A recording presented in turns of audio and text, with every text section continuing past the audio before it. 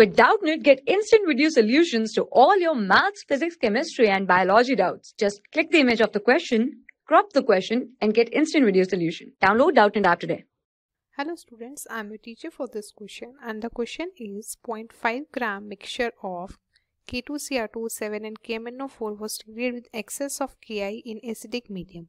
Iodine liberated required 150 centimeter cube of 0.1 normal solution of thiosulfate solution for titration. So find the percentage of K2Cr2O7 in the mixture. So in the question it is given that a mixture of K2Cr2O7 and KMnO4 is total 0.5 gram and is treated with excess of KI in acidic medium. The iodine liberated iodine is liberated and further the iodine required 150 centimeter cube of 0.1 normal solution of thiosulfate solution for titration. So we have to calculate the percentage of K2Cr2O7 in the original mixture. So first we will see when K2Cr2O7 and KMnO4 react with KI solution.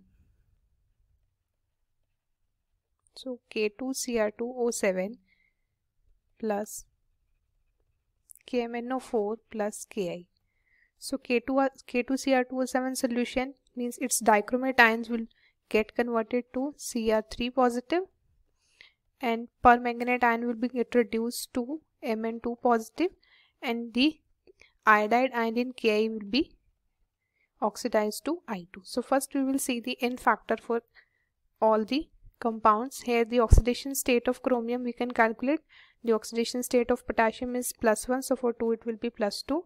Let us say for chromium it is x so for 2 chromium it will be 2x and for 1 oxygen atom it is minus 2 so for 7 it will be minus 14 so this will give us 2x minus 12 equals to 0. That is 2x is equals to 12 and x is equal to 6. It means the oxidation state of chromium is here plus 6 and here it is plus 3. It means for one chromium atom the change in oxidation state is of 3 and for 2 it will be 6. It means n factor for K2Cr2O7 when it gets reduced to Cr3 positive is 6. Now we will see for manganese. In manganese, uh, KMnO4, the oxidation state of manganese is plus 7 and it is reduced to plus 2. It means the change in oxidation state is of 5 and here is one manganese atom. So the N factor for KMnO4 is 5. Now when iodine iodide ion is in KI it is present in minus 1 oxidation state and when it is oxidized to iodine it is it is oxidized to 0 it means the change in oxidation state is of 1 so the n factor for iodine or KI we can write say it is 1 so now when the K2 mixture of K2Cr2O7 and KMnO4 is treated with excess of KI so their number of equivalents of this mixture will get equal to the number of the is equal to the uh, iodine solution liber, iodine liberated. So we can write equivalent of the iodine liberated equivalent of iodine liberated will be equal to the equivalent of KMnO4 and equivalent of K2Cr2O7 and the number of equivalents are given by number of equivalents can be calculated by number of moles into n factor or valency factor which is the total change in the oxidation state. So for iodine we can say the number of moles of iodine are not given so we can calculate the number of moles of iodine from here and its n factor is 1. Now let us uh, let us assume the num let number of moles of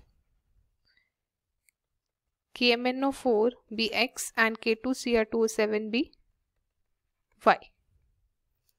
So the equivalence of KMnO4 would be the number of moles of KMnO4 into its valency factor and number of moles of KMnO4 be equal to its given weight upon its valency factor.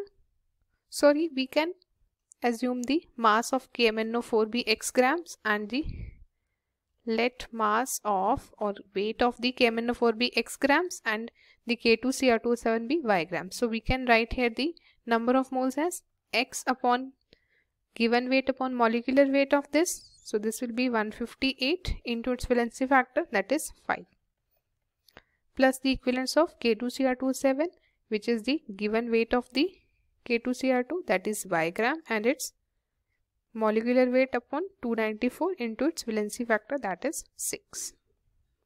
So from here we get equation that is number of moles of iodine liberated will be 5x by 158 plus 6y upon 294.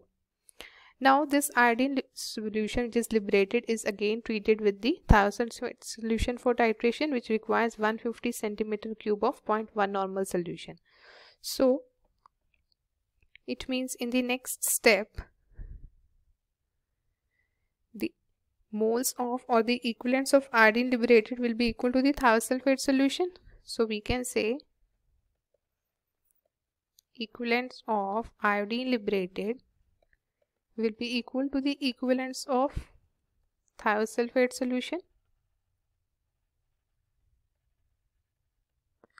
The equivalents or the moles of iodine we can say are this we have calculated that is 5x upon 158 plus 6y upon 294 this will be equal to the equivalence of thiosulfate. So equivalent of thiosulfate solution can be written as its concentration into volume that is normality into volume because normality is equal to as normality is equal to the number of equivalents upon volume of solution in liters.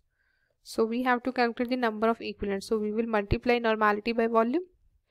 So the normality is given 0.1 normal and the volume is given 150 centimeter cube so we can say this is 1 centimeter cube is equal to 1 ml so this is an ml so to convert this into liters we will divide by 1000 so this will give us 5x upon 158 plus 6y upon 294 equals to 0.015 so we have this equation.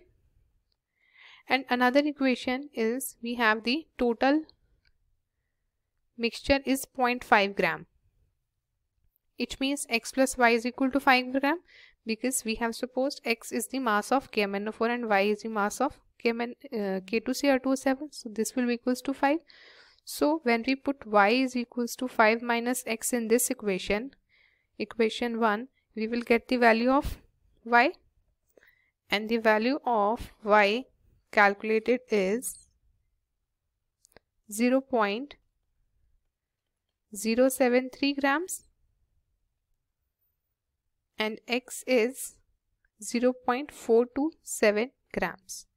It means KMnO4, the amount of KMnO4 is or weight of KMnO4 is this 0.427 grams and the amount of K2Cr2O7 is 0.073 grams.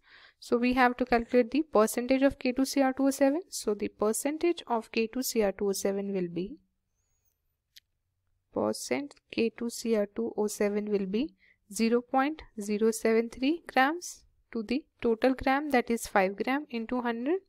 So this will give us 14.6 percent. Similarly, we can calculate the percent of KMnO4 by is equal to 0.47 upon its total weight into 100 Th that will give us 85.4 percent so percent KMnO4 will be 85.4 percent. So I hope you understood the solution. Thank you. For class 6 to 12 IIT JEE and NEET level. Trusted by more than 5 crore students. Download Doubtnut App today